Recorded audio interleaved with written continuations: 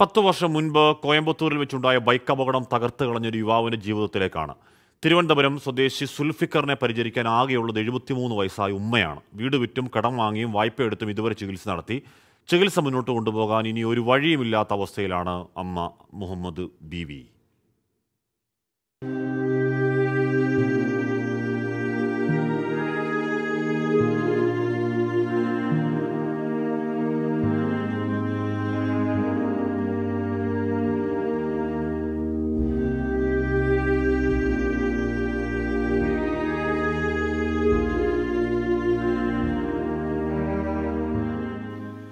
രണ്ടായിരത്തി പതിമൂന്നിൽ കോയമ്പത്തൂരിൽ ജോലി കിട്ടിപ്പോയതാണ് സുൽഫിക്കർ.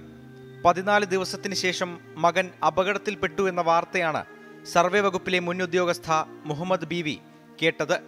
അപകടത്തിൽ മുപ്പത്തിയഞ്ച് വയസ്സുണ്ടായിരുന്ന സുൽഫിയുടെ തലച്ചോറിന് തകരാറുണ്ടായി. സംസാരശേഷി നഷ്ടപ്പെട്ടു. ഇരുപത്തിനാല് ദിവസം വെന്റിലേറ്ററിലായിരുന്നു. അത് കഴിഞ്ഞിട്ട് വെന്റിലേറ്റർ സപ്പോർട്ടോട് കൂടിയ റൂമിലേക്ക് മാറ്റി. ഇവർ അങ്ങനെ രണ്ട് മാസം അവിടെ ട്രീറ്റ്മെന്റ് ചെയ്തു. അപ്പോൾ എനിക്ക് വേറെ പിടിച്ചു നിൽക്കാൻ പറ്റാത്ത ഒരു സ്റ്റേജ് വന്നപ്പോഴേക്കും ഞാൻ വെസ്റ്റേന്റെ അവിടെ ഒരു വീടും അവിടെയാണ് താമസിച്ചിരുന്നത്. ഒരു രണ്ട് നല്ല വീടും.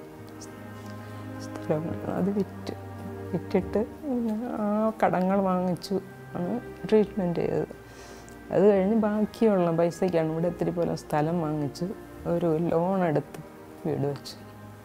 പക്ഷേ ഇപ്പോൾ ആ ലോൺ അടയ്ക്കാൻ എനിക്ക് പറ്റുന്നില്ല. ജപ്തിയുടെ വക്കിലേക്കായിരിക്കുകയാണത് പിന്നെ ഇവന്റെ ട്രീറ്റ്മെന്റ് എന്ന് പറഞ്ഞാൽ നല്ല എമൗണ്ട് ആവും. ആദ്യഘട്ടത്തിൽ സുൽഫീക്കറിനെ കൈപിടിച്ച് നടത്താൻ കഴിയുമായിരുന്നു. പിന്നീട് പതിയെ പതിയെ നടക്കാതെയായി. എനിക്ക് പ്രായമായി. എന്റെ കാലശേഷം അവന് പിന്നെ വേറെ ആരും ഇല്ലാത്ത ഒരു സ്റ്റേജ് വരും. അപ്പോൾ അത് എനിക്ക് മരിച്ചു പോയാലും സഹിക്കാൻ പറ്റില്ല. സുൽഫിയുടെ പിതാവ് നേരത്തെ മരിച്ചു. അപകടത്തിന് ശേഷം ഭാര്യ ഉപേക്ഷിച്ചു പോയി. മകനെ ശുശ്രൂഷിക്കുന്നതിൽ പ്രായാധിക്യം കാര്യമായി ബാധിച്ചിട്ടുണ്ടെന്ന് മുഹമ്മദ് ബീവി പറയുന്നു. മരിക്കുന്നതിന് മുൻപ് മകനെ സ്വന്തം നിലയിൽ കാര്യങ്ങൾ ചെയ്യാൻ പ്രാപ്തനാക്കണമെന്നാണ് ഉമ്മയുടെ ആഗ്രഹം.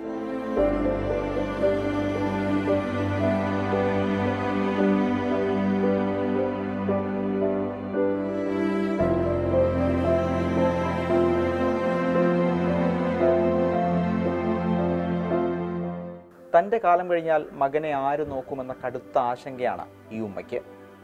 അതിനു മുൻപ് മകനൊന്ന് എഴുന്നേറ്റ് നടക്കണം.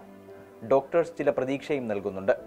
എന്നാൽ അതൊക്കെ നടക്കണമെങ്കിൽ സന്മനസ്സുള്ളവർ സഹായിച്ചേ മതിയാകൂ. സിറിൽ ഡി ലെസ്ലിക്കൊപ്പം അഖിൽ ഷാ അൻസാർ ട്വന്റി ഫോർ തിരുവനന്തപുരം.